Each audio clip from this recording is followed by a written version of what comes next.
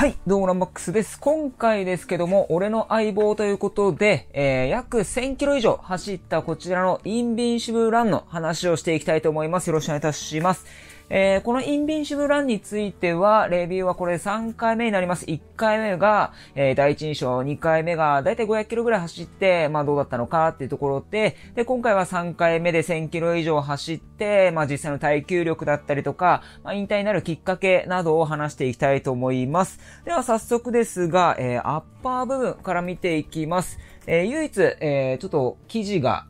すり減ってというか、まあ、ほつれてしまって中からスポンジが見えてるものは、この内側の部分ですね。ここだけがやっぱりこう、どうしても走ってて内側同士がすり減ったりとか、あとは膝にぶつかってしまったりとか、えー、ウェアとかですり減ることによって、えー、ここに生地が穴が開いて、中から少しスポンジが見えてきている状況です。で、ただ、それ以外に関しては、アッパー部分、ほぼほぼノーダメージです。かかとも何もないですし、内側ここ以外は、ほつれることもなく、まあ、多少ちょっとこの辺がほつれてはいるんですけども、まあ、ほぼノーダメージに近い状況で、親指のこの辺も穴が開いていないという状況です。えー、僕の中ではよくその親指のこの部分が、えー、爪が当たって穴が開くことが多いんですけども、まあ、1000キロ以上走っても穴が開きそうな雰囲気もないぐらい、えー、丈夫なアッパーをしていました。で、ソールに関しては、かかとの部分ですね、ここまで、えー、えぐれてきています。えー、これズーム X まあこのソール、白い部分がズーム X っていう素材なんですけども、まあ一つの特徴なのかもしれませんが、削れ方ですね、が、ちょっと画像ではうまく映るかわかりませんが、結構こう、えぐれる感じで削れていっています。通常今までの例えばペガサス36とか35であれば、まあ、自然と削れていって、そのゴムとこの黒い部分と白い部分の差ってのがないんですけども、ズーム X の場合この黒い部分がなくなって、ズーム X がすり減るようになってしまった場合、一気にえぐれていくと、なんかこう、段差がかなりある感じになってしまいます。この辺はちょっとズーム X の耐久力の弱さっていうのが露骨に出ているかなと、それをカバーするために全体的にこう、ゴムで覆ったっていうのはほぼほぼ予想通りかなっていう感じです。で、前足部、蹴る部分なんですけど、僕はだいたい母指球で蹴って、えー、まあ、押してというイメージですかね。蹴ったり押したりして、最後、指先、親指の方でキュッてこう、蹴り、こう、蹴って進むタイプなんですけども、もうほぼほぼ凹凸はなくなってしまっています。この辺ですね。この辺はもう凹凸がなくなってしまって、通常これぐらい、えー、ブツブツがあるよ、あるはずなんですけども、今はも全くないという状況です。えー、これがですね、僕の中でその今回そのインビンシブルが引退なるきっかけでした。えー、9月の上旬なんですけども、天気があまり良くなく、雨の日が多かったです。ただ、その時でも帰宅ランをしたりとか、ジョギングをしたりしたんですけども、このインビンシブルでしたんですけども、ある時ですね、次の日がポイント練習だったので、少し流しをしようかなと、要するに軽いダッシュをしようかなと思って、まあ、近所で軽くダッシュをしたところ、結構滑る感じがありました。さっき言った通り、こう、最後まで僕はこう、ピッて蹴って進むタイプなので、蹴った瞬間につるっと滑る感触があって、まあ最初はアスファルトの種類によって滑る、滑らないがあるかなと思ったで、何種類かの、まあ表面が、えー、荒かったりとか、えー、古いアスファルトであったりとか、新しいアスファルトであったりとか、目が細かいアスファルトが、いろんなアスファルトの種類があると思うんですけども、何種類か何箇所かで、えー、流しをしたところ、全部の場所ですごい滑ってしまって、流ししてても決してこう、スピードが出る感じがしないですし、しっくり来なかったんですよね。やっぱりこの、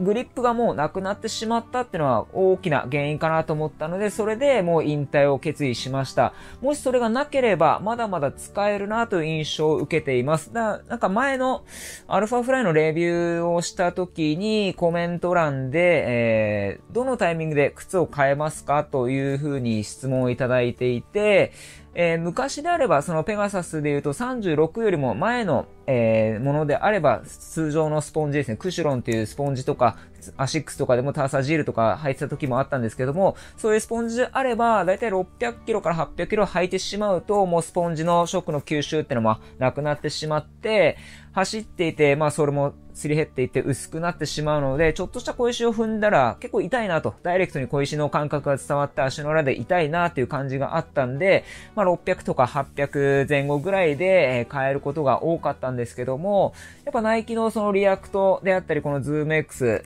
の素材になってからは、そういうのがやっぱりなくなってきている。えー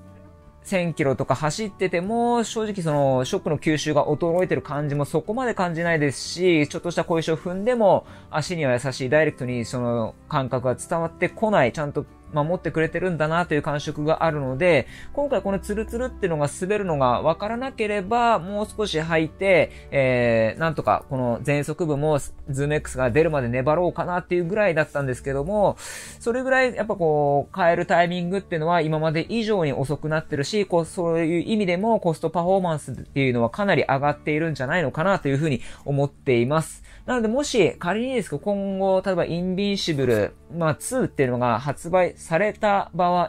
この前足部のつる、このつるって滑るのが改善されれば、もう少し僕自身とは1200キロとか、1300、1500キロ走っても、まあいけるんじゃないのかなっていうぐらいがあるんで、その辺を改善していただければいいなっていうふうに思っています。ただ、インフィニティの1と2を、えー、比べたとき、ほぼほぼマイナーチェンジ、えー、ナイキはだいたい1年、2年、同じぐらいのをやってから3年目に変えるっていうパターンがあるので、多分インビンシブル2がもし出たとしてもそこまで変わらず、えー、ほぼほぼ同じ内容じゃないのかなというふうに思ってるので、で、もう2年後ぐらいですかね、えー、を期待して待っていたいなと思います。で、今回のこのインビンシブルのコンセプトでもある、その、怪我をゼロにするという靴なんですけども、それと同じ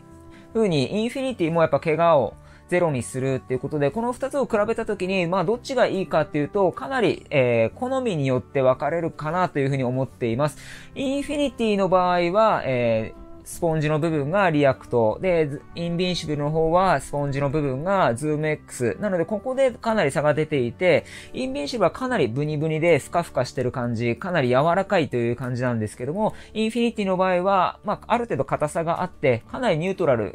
まあ他の靴とそこまで変わらない癖がそこまで強くないシューズなので、このズーム X の素材がすごい好きだっていう人であれば、インビンシブル。で、ズーム X の素材がそこまであまり練習でも履いてないし、あんま慣れないなっていう方であれば、インフィニティを履いた方が僕はいいと思います。僕自身がアルファフライとか、えー、ベイパーフライとかで常にポイント練習をやっているので、このズーム X に対しての慣れっていうのはかなりある方なので、正直この、この、なんていうんですかね、そのブニブニ感とか、えー、ショックの吸収っていう部分は、ズーム X の方が僕は好きだなと思うので、もし同じ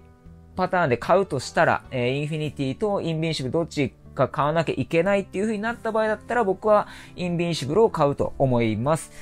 なのでこの辺はかなり好き嫌いは分かれると思うんですけども、どちらにせよ僕はこのインフィニティもインビンシブルも履いて、怪我っていうのはしていないっていう状況なので、まあ怪我に悩まれてる方であれば、少なくともナイキさんが言ってるのは、やっぱ50%ぐらいは軽減されますよっていうふうに言ってるので、まあその辺も自信持って、えー、履いていただければいいんじゃないのかなと思います。で、コストパフォーマンスについても、当初、そのズーム X、が弱いんで、もしかしたらジョグシューズ、練習シューズだったら、早くすり減ってしまって、えー、コストパフォーマンスは良くないんじゃないかなというふうに予想されて、僕はしていたんですけども、やっぱこの黒い部分でゴムで覆うことによって、そのその弱さ、ズーム X の耐久力のなさっていうのをカバーしたことにより、まあ、1000キロ以上走ることができたので、コストパフォーマンスっていう面でも全然 OK かなと、えー、結構高い方じゃないのかなっていうふうに思っています。で、値段に関しても当初は2万円以上、定価が2万2000円ぐらいだったと思うんですけども、それぐらいしてたのが、今だいたい